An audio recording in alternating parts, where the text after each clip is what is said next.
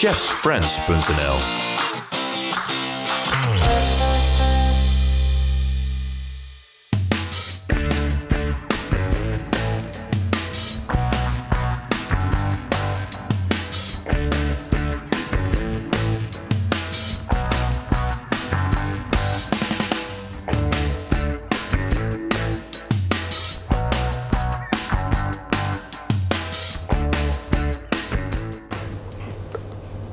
Nou, v- vooral het, het contact met de, met de mensen die hij maakt. Het is een heel integere persoon. Heel integer persoon. En eh, ook, ook ja, echt eh, super enthousiast. Eh, meer dan enthousiast. Eh, eh, vroeger dacht ik wel eens van, eh, het lijkt me wat overdreven. En kook uit mijn hart. En, eh, maar het is precies zoals Michel is. En daar is hij eh, tot zover heel ver mee gekomen. Eh, ja, het zijn misschien wat cliché dingen, maar hij doet ze wel in de overtreffende trap, vind ik. eh. Ja, ik noem dan de bevlogenheid in zijn ondernemerschap. Vol van zijn zaak, trots op zijn zaak, trots op zijn mensen. Dat ook uitdragen naar de gast. Ik denk dat dat wel het juiste antwoord is op die vraag.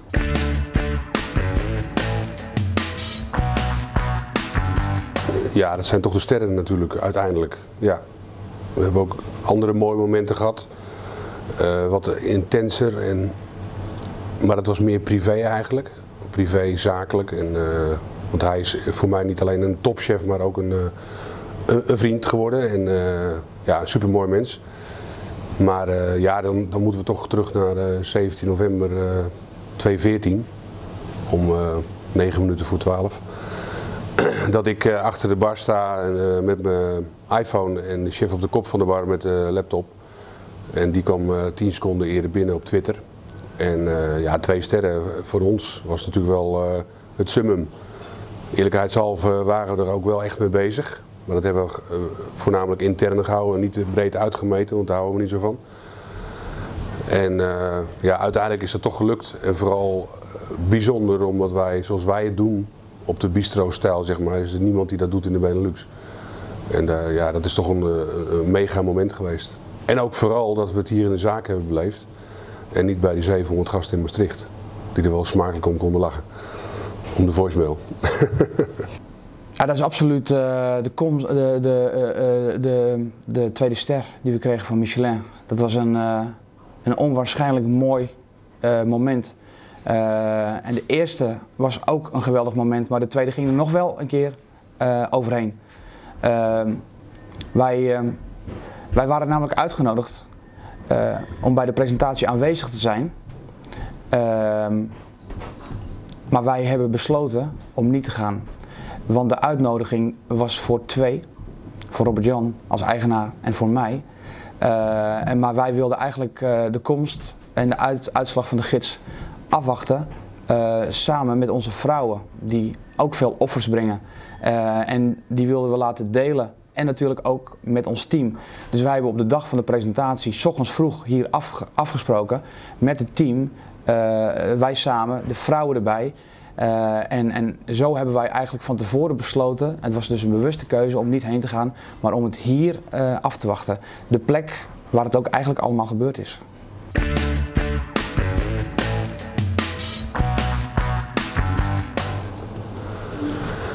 Nou, eh, hopelijk in het nonnetje.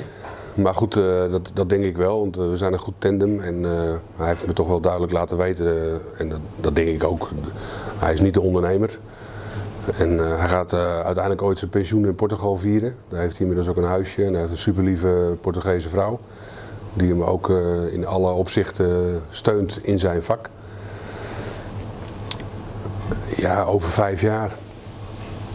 Laat ik het zo zeggen, deze chef eh, heeft het in zich, denk ik.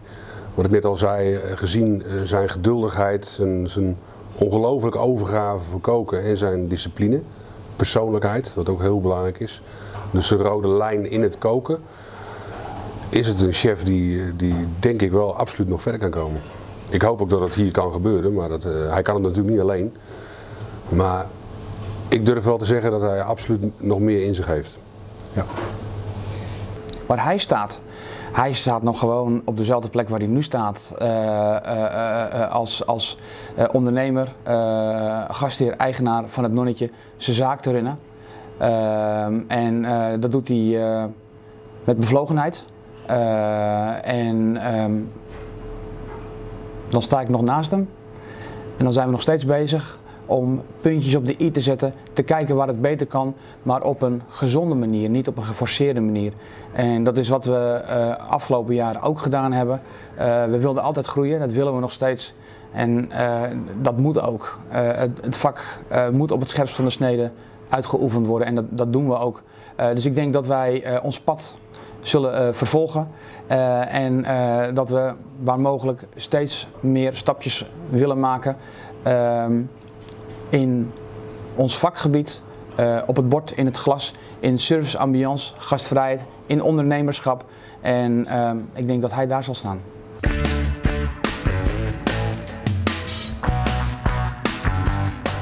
Uh, ja, dat is toch de, de Carabiniero. Ja, die heeft hij zo goed neergezet op, op, op zijn eigen wijze dat, op, zijn, hij heeft de laatste jaren ook echt bewezen dat hij, dat hij echt een signatuur eh, heeft ontwikkeld. Wat voor een topchef natuurlijk heel erg belangrijk is om verder te komen. En die lijn heeft hij alleen maar verder ontwikkeld. Maar zoals hij die Carabiniero heeft neergezet, ik kom ook zelf graag in dat gebied, Portugal, sherrygebied. Uh, met, de, met de bacalao natuurlijk en de artichokbereidingen. Ja, dat is toch wel absoluut signatuurgerecht. Iedereen zou verwachten de ganzenleven paling rode biet, maar uh, ik ga toch voor de Carabiniero.